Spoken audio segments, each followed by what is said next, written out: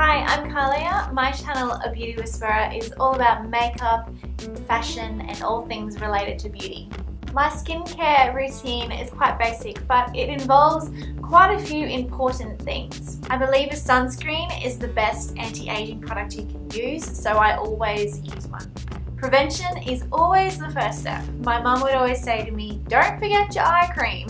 and to this day, I always think of that when applying it. I believe makeup is about taking what you have and enhancing it. One thing I never skip is primer because I have large pores and oily skin.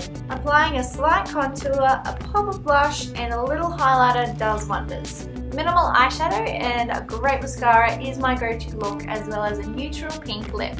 Now my hair is quite fine so my favourite way to style it is big curls. It makes my hair look thicker and more voluminous.